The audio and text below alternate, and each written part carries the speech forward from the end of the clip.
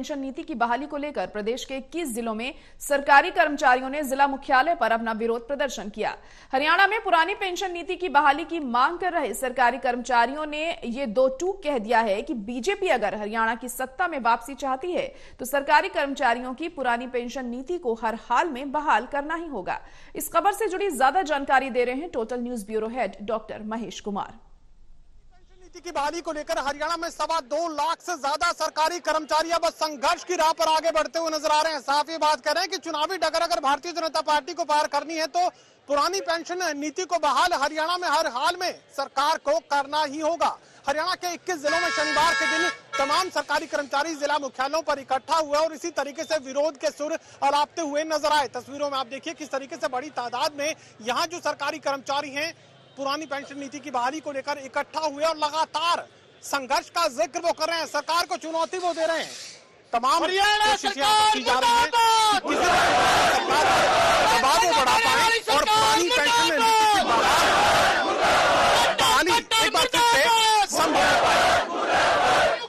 फिर से संभव पेंशन संघर्ष समिति के तमाम पदाधिकारी यहाँ पर मौजूद हैं। हम उनसे बात करेंगे। मुझे बताइए कि सवा दो लाख से ज़्यादा सरकारी कर्मचारी और सरकार को सीधे चुनौती दे रहे हैं कि या तो पुरानी पेंशन नीति को बहाल कर दीजिए, वरना बाहर का रास्ता, सरकारी कर्मचारी, सत्ता से बाहर का रास्ता, सरकारी कर्मचारी सरकार को दिखा देंगे। सर, ब्लॉक लेवल से लेके जिला स्तर होते हुए राज्य स्तर तक बहुत एक्सरसाइज कर चुका कर्मचारी। सवा दो लाख के आसपास पूरे हरियाणा का कर्मचारी है। इतनी एक्सरसाइज की है, इस सरकार से निवेदन हमने किया है चेतावनियाँ भी दे ली।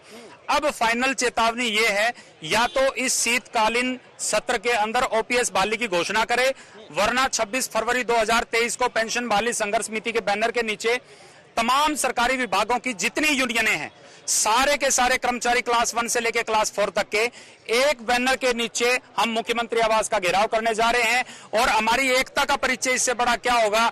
जिन कर्मचारियों को हिंदुस्तान के अंदर दो प्रतिशत बोला जाता है, एक प्रतिशत के डिफरेंस से हिमाचल से बाहर फेंक दिया, अगली बारी हरियाणा की है, सर। पुरानी पेंशन नीति की बहाली दरअसल देश में एक मुद्दा भी बन चुकी है। हमने बहुत सारे राज्य देखे हैं। हिमाचल प्रदेश में भी इसी तरीके के मुद्दे को चुनावी मैदान में उठाने का काम कांग्रेस पार्टी की तरफ़ से किया गया। छत्तीसगढ़ में इसी तरीके का ऐलान, पुरानी पेंशन नीति की बहाली को लेकर कर दिया गया। अब हरियाणा की सरकार पर किस तरीके से आप लोग दबाव बढ़ाने की तैयारी कर रहे हैं? हरियाणा की सरकार के साथ साथ जो केंद्र की सरकार अपने आप को बोलती है कि हमसे बड़ा तानाशाह कोई नहीं है, ये बात उनको भी समझ आ चुकी है। उनको भी पता है कि ये मुद्दा तुम्हारा सत्ता परिवर्तन का मुख्य कारण रहेगा, जैसे कि हिमाचल या राजस्थान में रहा है। तो उन्होंने भी अब धीरे धीरे सगुफे छोड़ने शुरू कर दिए हैं। कल से भी कोई मीडिया में घूम रही है, हम ओपीएस पर विचार कर रहे हैं। हालाँकि कुछ नहीं कर रहे, हमें ये भी पता है। सिर्फ़ कर्मचारी को बरगलाने का काम कर रहे हैं, ताकि इनका जोश ठंडा हो जाए और ये आंदोलन को धीमा कर ले। कर्मचारी अब रुकने वाला नहीं है। या तो ये नहीं या फिर इस बार कर्मचारी नहीं अब देश और प्रदेश पर ओपीएस का जो बहाल करेगा वो इस देश प्रदेश पर राज करेगा सर। अब आगे किस तरह की रणनीति आप लोगों ने तैयार किया किस तरीके से सरकार से मुकाबले की तैयारी है? देखिए अभी तो पहले हमने आदमपुर में ट्रेनर दिखा था और आज ये पूरे स्टेट डिस्ट्रिक्ट लेवल पे उलाना है सरकार को।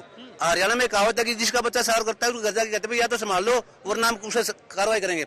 ये उलाना है सरकार या तो शीतकाल में अपना सेशन लेके आए अधिवेशन जिसमें हमारी पुरानी पेंशन बहाल वरना आने वाले समय में चुनाव तक सरकार के नाक में दम कर देंगे और सरकार को ये एहसास कर देंगे कि सरकार ने बाहर जाना पड़ेगा सत्ता से जिस प्रकार हिमाचल में गए आदमपुर के ट्रेलर का ज़िक्र आप कर रहे थे लेकिन आदमपुर में तो पंद्रह हज़ार से ज़्यादा वोटों से भारतीय जनता पार्टी जीत कर बाहर आई है। कोई बात नहीं वो भारतीय जनता पार्टी नहीं जीते वहाँ चौधरी भजनलाल का पोता जीता है। क्योंकि उनका भजनलाल गढ़ रहा है। और वहाँ पर जो उन्नीस सौ नब्बे से उन्नीस सौ पिचानवे के बीच में सत्ता में रहे थे, उन लोगों ने वोट दिए थे। नए किसी भी कर्मचारी ने वहाँ पर वोट नहीं दिए। जो चालीस हज़ार से जीते थे, वो पंद्रह हज़ार पर जीत आ गई। आने वाला समय देखिए तो एक उपचुनाव था, जिसमें कर्मचारियों को छोड़ के सारा सिस्टम वहाँ था। आने वाले सरकार में सिस्टम कहा जाएगा, पूरे हरियाणा जाएगा तो पूरे हरियाणा सरकार अपने कर्मचारी में दिखा देंगे। मुझे बताइए कि आगे क्या रणनीति?